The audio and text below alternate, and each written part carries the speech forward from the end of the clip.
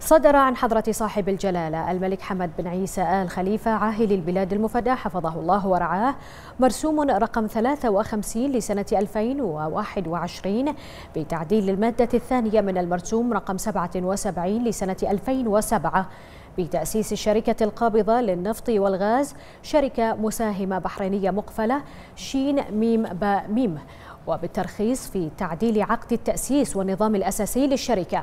وجاء في المرسوم أنه تخضع الشركة القابضة للنفط والغاز والشركات التابعة لها والشركات العاملة في مجال صناعات النفط والغاز التي تساهم فيها الحكومة بنسبة في رأس المال لإشراف اللجنة العليا للطاقة والثروات الطبيعية وذلك بما لا يتعارض مع الأنظمة الأساسية لتلك الشركات.